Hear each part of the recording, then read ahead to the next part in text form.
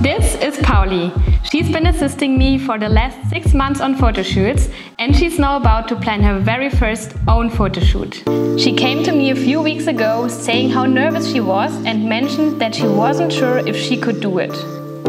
I'm just afraid something might go wrong. For example, what if I lose the focus? In this video, I'm going to show you the mistakes she very nearly made and how to avoid them, so that you can go into your first photo shoot with confidence.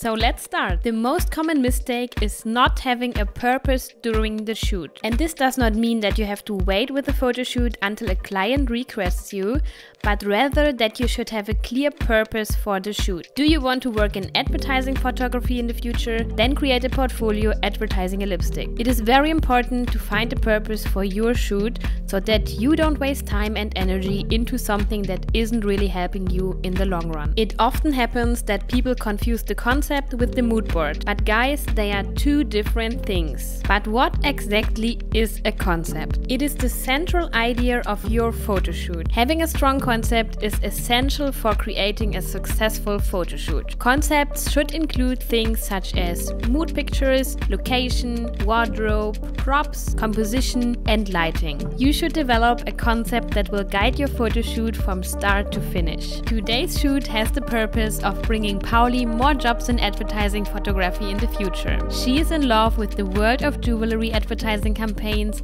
and thinks about starting a career in this field. So we built the idea around a jewelry campaign, elegant and minimalistic. For the concept, she imagined that these photos would be used for the brand's landing page. And because of the unique shape, we also want to photograph the jewelry in a creative way. Once you have a general idea of your concept, it is important to refine it and make it more specific. For this, you can create a mood board or sketch out your ideas. This will help you to visualize your concept and ensure that everyone involved in the shoot is on the same page. Add as much examples as you can find and remember that they can include paintings or themes from a film.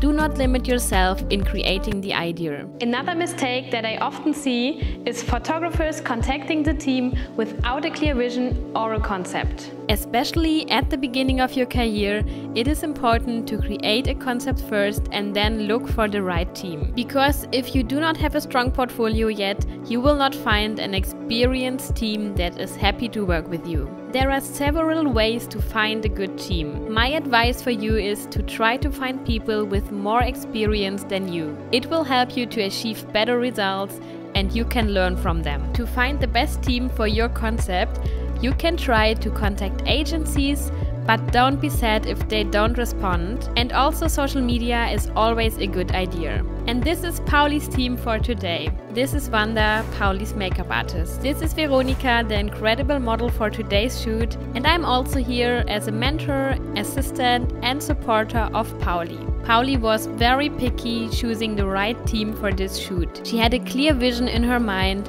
She wanted to have a model with beautiful bright eyes to shoot close ups of the earrings next to her eyes. And she wanted to work with an experienced makeup artist. I'm glad we found these two and the shoot will be amazing. And the next thing I want to tell you is one of the most important when planning your first shoot.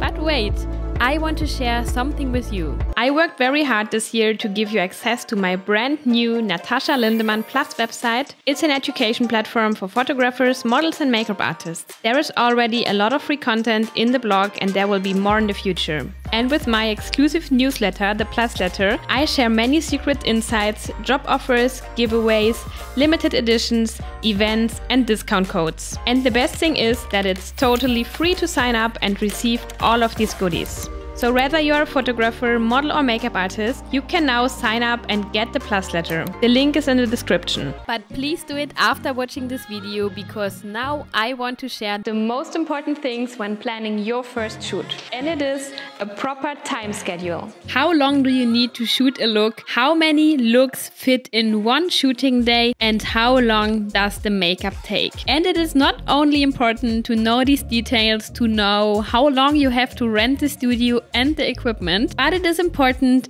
so that you can be sure that you can create every motive that you have planned to shoot. So make a realistic schedule. Don't forget to plan for breaks and meal times and always plan for the worst case. Because if your schedule is planned too optimistically and you get behind the schedule, then it's not good for the result. I would always recommend to add 10 to 20 minutes to every single point so that you are definitely on schedule afterwards.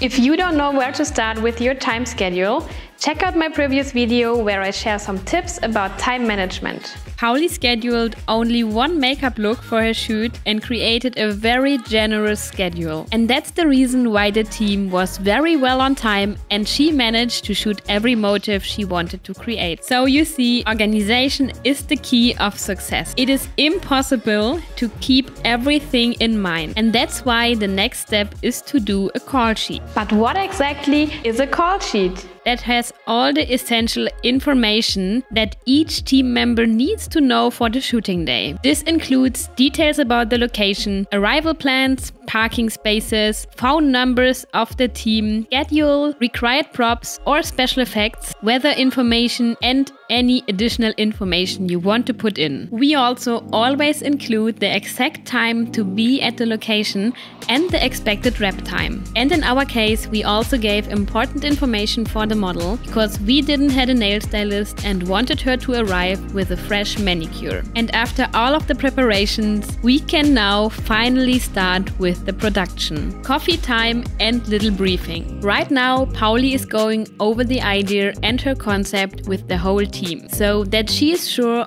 all her ideas are clear and coffee is also always a good start into a working day. As you can see, she has printed the mood boards, concepts and posing moods as I suggested her because this will help her not to get lost during the work and it will also be easier to explain to the model what she exactly needs. Often the first photo shoot goes wrong because the photographer loses control over things and time due to anxiety. All these tips will help you to be focused and trust me, make a list with all the things you need for the shoot. The next step for Pauli is to double check everything and to set up the lights. As she wanted to do poses with hands, she needs soft shadows. So we chose a softbox as a main light and a grazing light to separate the model better from the background. She also chose two white styros on the left and the right side and the reflector from underneath. She's using a Canon 5D Mark IV with a 70mm lens. Especially for the first photo shoot, it is important to test the light setup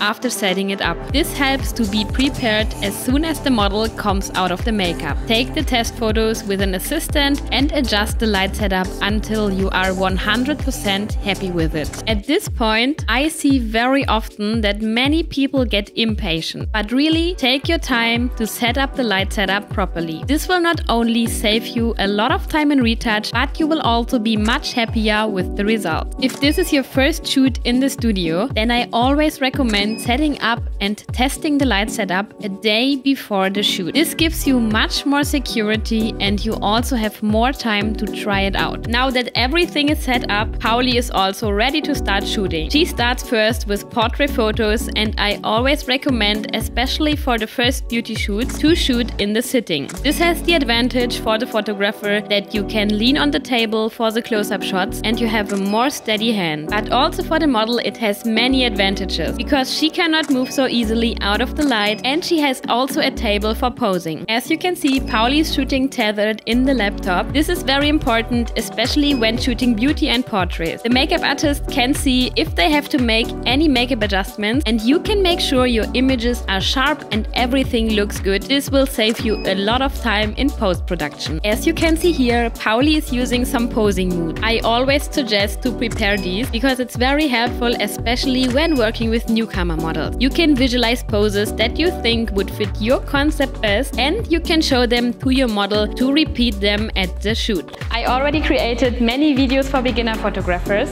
but if there's a topic you want me to cover, leave me a comment down below. And the last but not least step is to back up everything. Once you've completed the shoot, it is important to back up all your data as soon as possible. Do not wait until you get back home, as it can be risky to carry around all of your images on a single device. I recommend to have multiple backups in different locations, such as an external hard drive or a cloud storage. This will help you to avoid losing all of your hard work due to technical issues or accidents. And if you now want to know how to achieve the best results with a newcomer model, I would highly recommend you to watch this video.